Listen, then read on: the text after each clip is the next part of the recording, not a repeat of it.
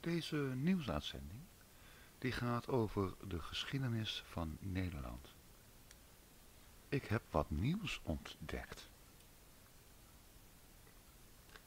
Je kijkt nu naar ehm, dat is de binnenkant, die kan ik dan zien.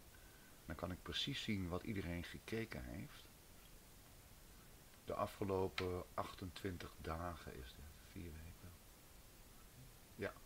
Ja, 28 dagen is het al.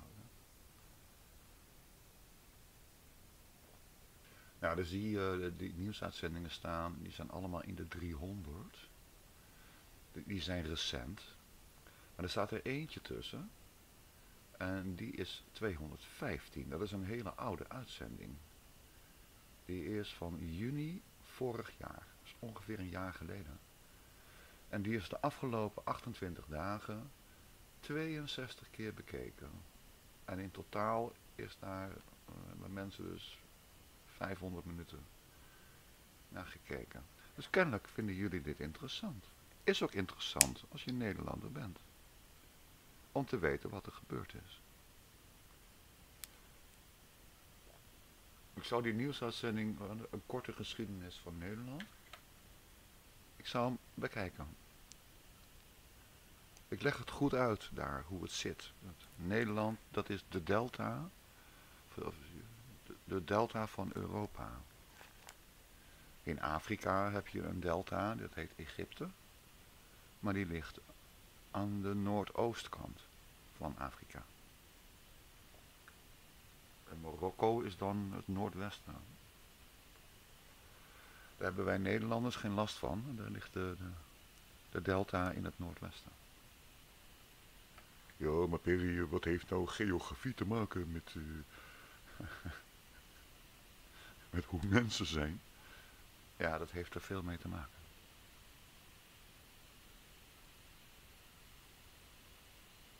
Wij mensen zijn heel gevoelig.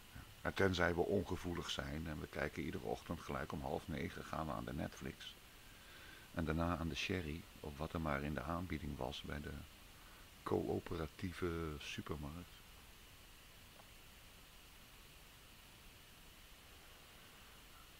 En trouwens, al begin je s'morgens vroeg met Netflix en je om 11 uur ga je aan de sherry. Dat kan je nog steeds gevoelig zijn. Misschien zijn juist die gevoelige mensen wel uh, s'morgens vroeg aan de Netflix. Om een uurtje of 11 in de ochtend aan de sherry. Dat zou kunnen. Nou, wat ik ontdekt heb, dat is heel erg leuk. Alleen ik heb nu nog een fout gemaakt. Ik ga even kijken of ik dit live kan uh, herstellen. Voor hetzelfde geld lukt dat. We gaan even luisteren naar Bill Huge. Deze video is geüpload door uh, Jörg, Jörg Griesman. Dit is zijn kanaal. Jugglers War on disinfo. En wat hij hier heeft geüpload, dat is uh, deel 46 van de serie Behind the Door. Ik zal hem even lekker groot maken dat je het goed kan meelezen.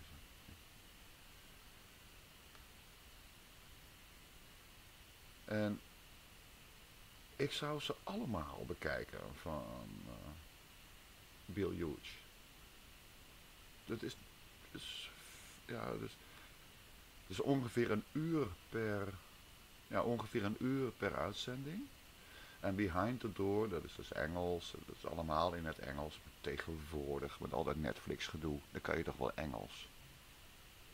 Door bij Netflix, het, een, niet het enige goede, er zijn wel meer goede dingen aan Netflix. Eén van de goede dingen aan Netflix is dat je het Engels ondertiteld kan afspelen closed captions. Dat is Engels CC. Dat is voor doven en slechthorenden van het Engelse taalgebied.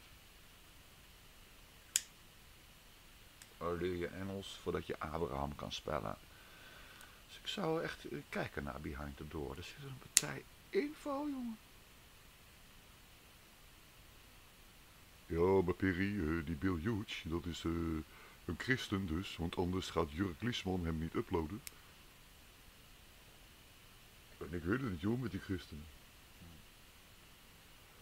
Ja, het gaat erom dat dat wat gezegd wordt en dat wat ook waar is, is interessant om naar te luisteren. Ook al is het een Mohammedaan of een natuurgelovige of een, een, een Baha'i uh, dinges. En dus christenen vallen ook in die groep. En je luistert er maar gewoon naar. Wat heb ik nou ontdekt? Oh, oh, wat spannend wordt dit. Deel 46 van de serie Achter de Deur. Dat is een lecture, noem het, een lezing door Bill Hughes. En Hour of the Truth, dat is het kanaal van Jurk. Maar goed, we gaan nu even luisteren naar Bill Hughes. En uh, ja, buckle up. Uh, zorg dat je uh, rooibos thee klaar hebt staan. Want we gaan minimaal vijf minuten luisteren naar Bill Hughes. That we want to look at today is William of Orange. Ja, William of Orange. Wij noemen die man Willem van Oranje. Weet je nog? He was also known as William the Taciturn. He was also known as William the Silent. William the Silent. Willem de Zwijger. William the Silent, or William of Orange, he lived in the 1500s. He was schooled and financed by Charles V. Charles V was the Holy Roman Emperor that presided at the Diet of Worms in 1521. William the Silent went on and began to rule in the area of Holland and the Netherlands. Dat is wel leuk dat hij dan zegt uh, Holland en de Netherlands. ja, in zekere zin is het waar. Je hebt Noord-Holland en Zuid-Holland en alles wat te dicht bij Duitsland ligt. Geintje. And through various wars that were fought in the 1570s, William the Silent brought religious liberty to the peoples of Holland and the Netherlands. Dat zal. We gaan zo dadelijk even naar de Wikipedia-pagina kijken en daar staat het ook. Ja, maar Piggy, Wikipedia, dat is van de Joden en daar geloof ik niks van. Ja, ja, kom op. In the book Vatican Assassins, page 106 and 107, we read, The Dutch Protestants would not be conquered by Charles V and Philip II, his son. They had a great leader. His name was William of Orange, surnamed the Silent. He had been raised in the court of Charles V, the Holy Roman Emperor, and was fit to lead a people to political liberty. He waged war from the sea, commanding the bravest soldiers of the age. William of Orange became the father of religious liberty and greatly beloved of his people. He did not force the Anabaptists to go to war as they were non resistant. He further gave the Jews religious liberty, so much so that they migrated to Amsterdam, calling it the New Jerusalem. Ja, leuk hè? Even samen te vatten. Uh, Willem van Oranje, Willem de Zwijger. Die was dan de koning van Nederland. Aangesteld door de Rooms-Katholieke paus. En in dit geval dan de Karel V, dat was geen paus, maar die hoorde wel tot het Rooms-Katholieke systeem. En die heeft Willem van Oranje Nederland uh, laten besturen. En Willem van Oranje dacht, nou, eh, zo dadelijk komt er iemand in Amerika en die heet uh, John F. Kennedy. En die wilde ook autonomie voor Amerika. En daar ga ik nu al mee beginnen. Want John F. Kennedy, dat is van de 20e eeuw. Maar ik, Willem de Zwijger, ik ben van de 16e eeuw en ik kan dat ook. Autonomie voor mijn volk. Want wat heeft een volk anders aan mij? Wat heeft een volk aan mij als ik dat volk geen autonomie geef? En ja, ik mag ook uh, Joods, mensen van Joodse afkomst. Die de Pentateuch lezen. En die gaan niet naar de kerk, maar die gaan naar de synagoge. Ja, nou en? Ik wil dat mijn volk floreert.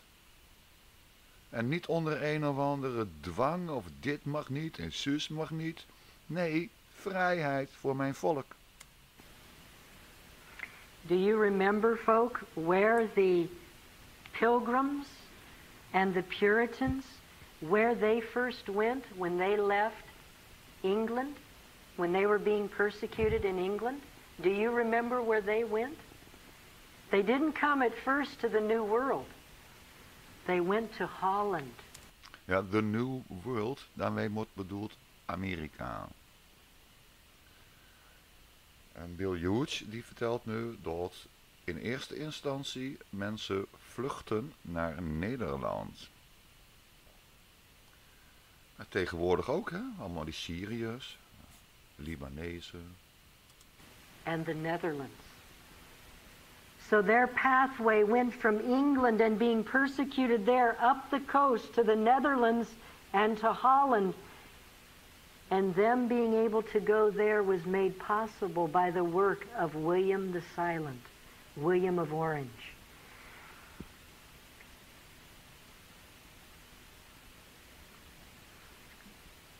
William ultimately produced in his son Prince Maurice the greatest soldier of the age.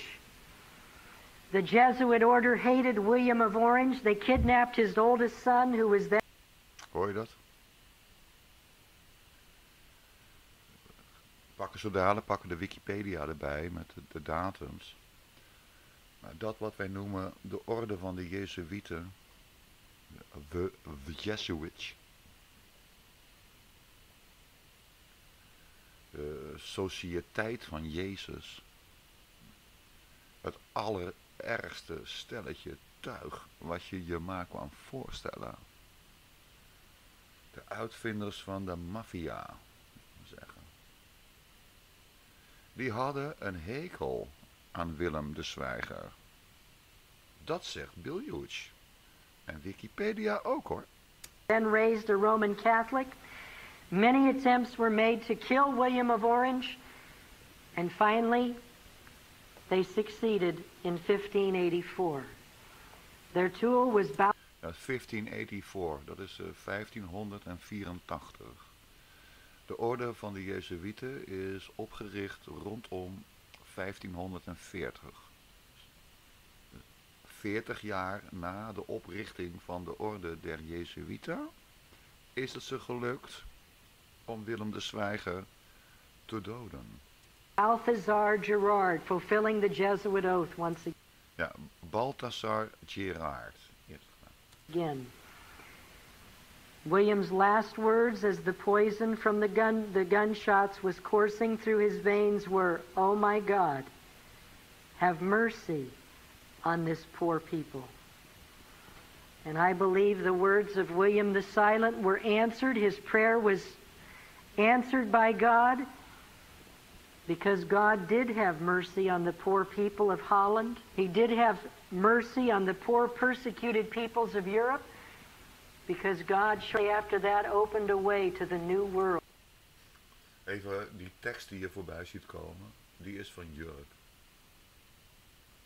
De eerste regel was dat hij niet behoort tot een of andere stroming.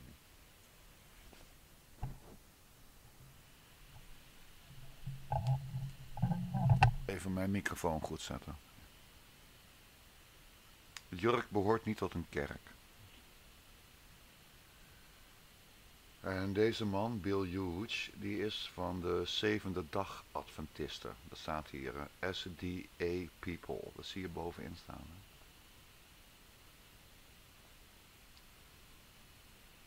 Even het, eh, ter eh, aanvulling. Dit is van world for the persecuted of Europe to find a home on the shores of America.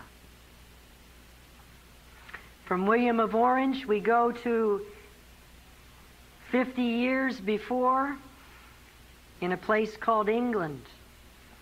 Of course, it was in England in the late 1550s that we have Queen Elizabeth I. Queen Elizabeth ruled from 1558 to 1603. Ja, nou hier gaat hij dan door met Elisabeth I.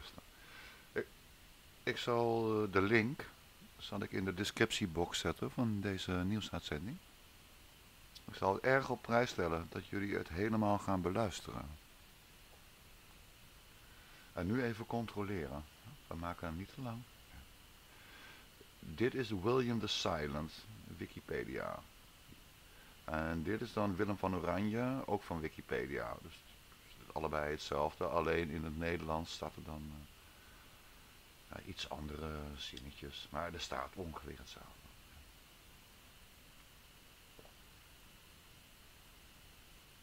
Hier staat het ook. Hij begon, dus Willem van Oranje, die begon zijn loopbaan in dienst van de Rooms-Duitse keizer Karel V.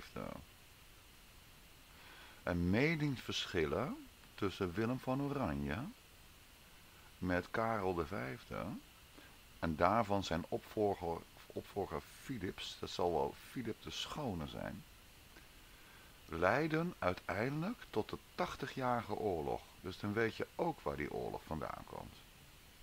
Dat waren de katholieken.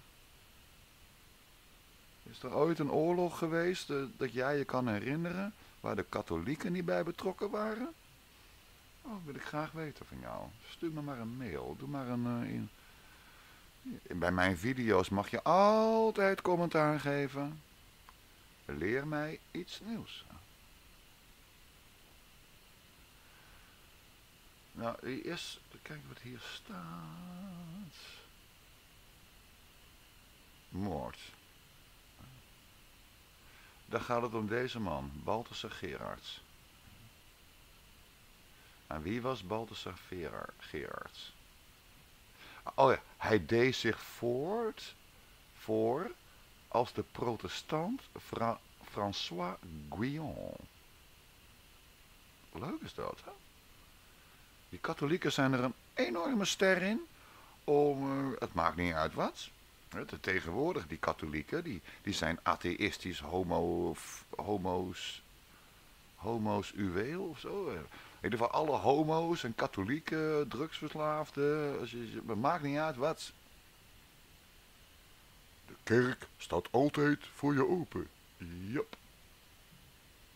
Nou, dan gaan we nu, ik heb hem even voorbereid hoor. Dit is de pagina van Balthasar Gerards. En op zijn Engels is het Balthasar Gerard. Maar wij zeggen Balthasar Gerards. Of Gerards met een T erbij. Dat kan ook nog. Ik pak hem even op zijn Nederlands. Dan kan ik dat makkelijker voorlezen. Ja?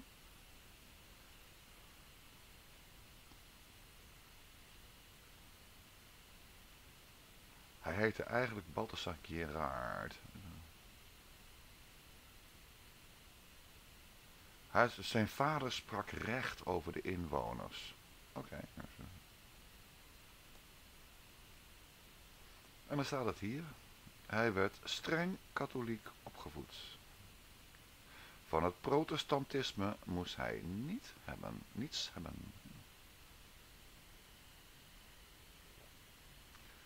Dan zijn we er weer, hè? Als je naar al die uitzendingen gaat luisteren van Bill Hughes over Behind the Door, dat gaat alleen maar over Jezuïeten. En de Jezuïeten, dat is de militaire tak van de katholieke kerk.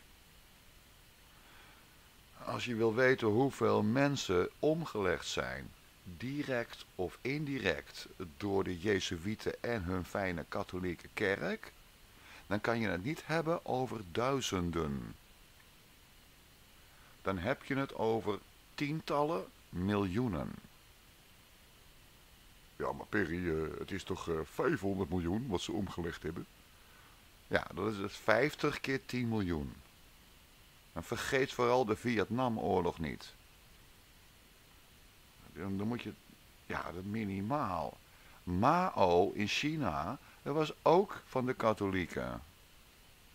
En Mao heeft er in de culturele revolutietijd 60 miljoen van zijn burgers laten chop, chop, chop. Hé, hey, die katholieken is echt fijn, man. En wij hebben dan uh, Willem van Oranje gehad. Ja, jammer dat hij doodgeschoten is. Door Balthasar Gerard. Of Gerards, zeg maar. Balthasar Gerard. Een katholiek. En bij mij komen de katholieken echt de neus uit. Ik sprak laatst een, een, een vent. Die was 10, 15 jaar jonger dan ik. En die was katholiek. Maar uh, deed niet aan de verering van Franciscus I. Dat is net zo iemand als die zegt van ja, ik doe graag heroïne, maar dat ga ik niet spuiten hoor. Dat rook ik wel. Nou, je bent gewoon heroïne verslaafd. En een cirkel. En katholicisme is helemaal niks, dat is heidendom. Ja, maar Perry, nog ga je mij vertellen dat al die doden en al die oorlogen, dat die dus veroorzaakt zijn door dat wat in de Bijbel genoemd wordt, de heidenen. Ja, dat klopt. Babylon. Er is maar één boek waarin er uh, gesproken wordt over Babylon. En dat is de Bijbel. Nou, Perry, daar ben ik niet met je eens hoor. Want uh, Bob Marley met zijn teksten en al die, die reggae, uh, die heeft het ook de hele tijd over Babylon. Ja, ha! Maar de Bijbel is wat ouder. George, George Marley, dat moet ik nou eens zeggen. Bob Marley. Dat is van de 20e eeuw.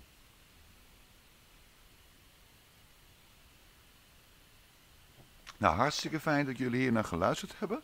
En erg trots ben ik op mezelf dat ik het lekker zo kort gehouden heb. Want ik heb dit eerder opgenomen en die uitzending heb ik weggegooid. Want die vond ik te lang. Ik wil dat jullie naar Bill Hughes gaan luisteren, eigenlijk. Freedom Fighters, zoek het maar op. Ja, die link staat er onderin. Even doorkijken naar die andere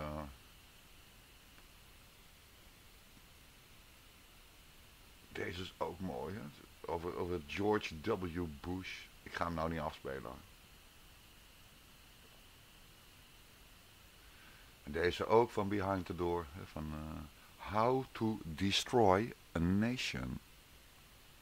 Kijk, het punt is, wij kunnen allemaal Teletubby gaan lopen spelen in La La Land. En uitzien naar de volgende keer dat de kermis er is met wel suikerspinnen voor je kind. Een soort toekomstige blijheid noemen we dat. Ja, het is momenteel niet zo heel denderend, maar zo dadelijk komt de kermis met een suikerspin voor mijn kind. En ik uh, ga tegen mijn kind zeggen, telen, telen, tubby. Wat is het een mooi lalaland hier. Het punt is, het helpt niet. Eh, we hebben hier te maken met een partij en die heeft in het verleden alleen maar gewonnen. Ja, maar Perry, dat kan je toch niet echt winnen noemen, want ze hebben oorlog gevoerd en uh, iets van 500 miljoen burgers afgeslacht. En hoe kan je dat dan winnen noemen? Nou, dat noem ik winnen in die zin, 500 miljoen van ons, die zijn weg. Vroegtijdig weggegaan. En die Jezuïeten, die zijn er nog steeds. Dus dank jullie wel voor het luisteren en ga genieten van je geschiedeniskennis die Bill Hughes jou kan vertellen. Ja, maar Perry, die Bill Hughes, die praat, uh, ja, dat is toch wel Engels. En, uh, en ja, die, die, stem van hem vind ik een beetje, ja, niet echt zoals Arnold Schwarzenegger met de I'll be back. ik vind het eigenlijk, vind ik het gewoon een oude man. Ja. Dan hoop ik dat je Marokkaanse vrienden hebt die jou iets kunnen vertellen over het begrip respect. En op zijn hamburgers, hier, tjus. En dag lievers.